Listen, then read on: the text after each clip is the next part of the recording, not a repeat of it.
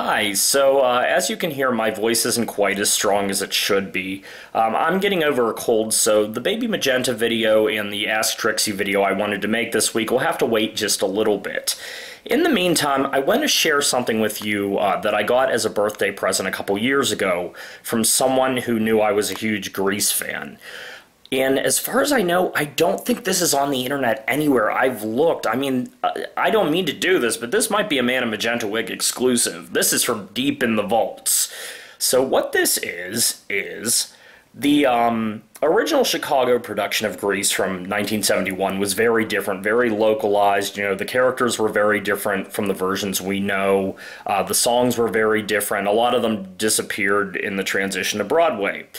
This is one of them. Uh, this song, called Foster Beach, was replaced by Summer Nights. And while it is a different song, you can definitely hear the roots of Summer Nights in this. So, I want to share that with you.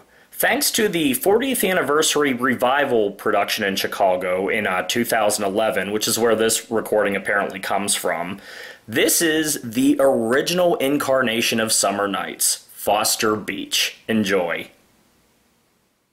So, you and Frenchie live next door to each other. How cute. Did you become friends this summer? No, we hardly ever saw each other till we took the bus this morning. Yeah, I spent most of the summer at the beach. What for?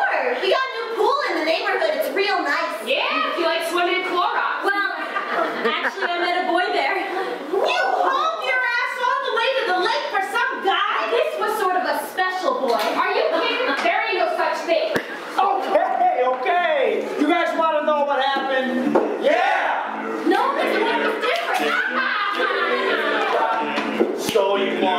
Know what happened last summer? Don't you want to know what happened last summer? Well, I met a chick, she really was groovy.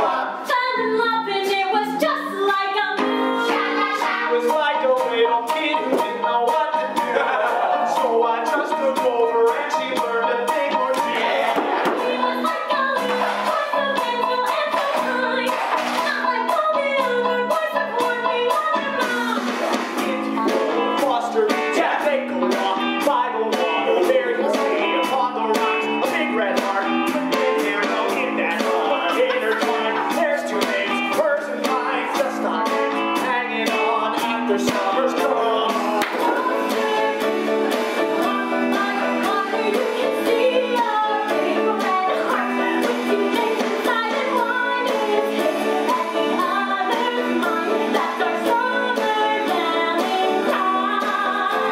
So, your true love never lays a hand on you. Maybe he was a queer.